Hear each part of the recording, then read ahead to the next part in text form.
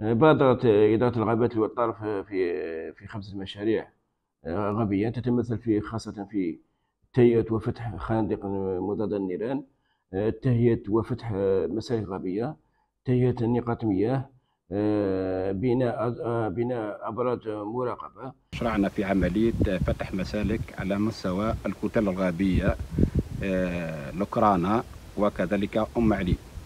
وإحنا ذكرنا بالضبط في المكان الذي تم انطلاق انطلاق المشروع في عملية فتح مسلك بسعة مسافة 5 كيلومتر.